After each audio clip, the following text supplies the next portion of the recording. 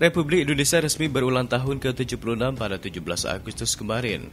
Pelaksanaan peringatan HUT kemerdekaan RI tersebut bahkan sudah diperingati oleh pemerintah pusat maupun pemerintah daerah dengan menggelar upacara pengibaran bendera walaupun dilaksanakan secara terbatas.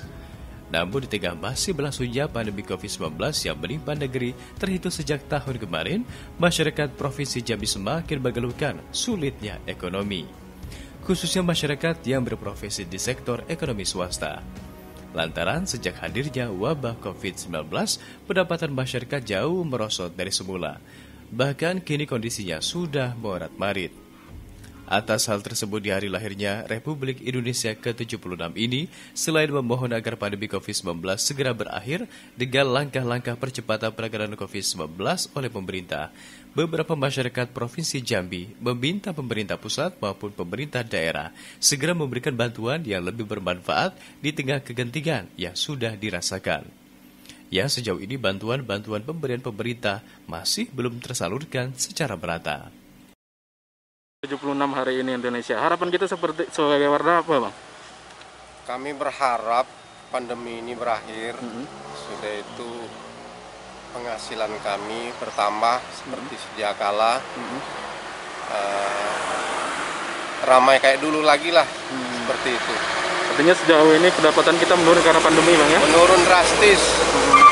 Kami sebagai ya juru parkir ini hmm. merasa terlalu terlalu menurun pendapatan hmm. ini. Biasanya bisa membawa uang untuk uh, simpanan, sekarang cuma lepas untuk makan. Ya harapan kita ini kalau bisa bagi kita rakyat ini dah ya. Hmm.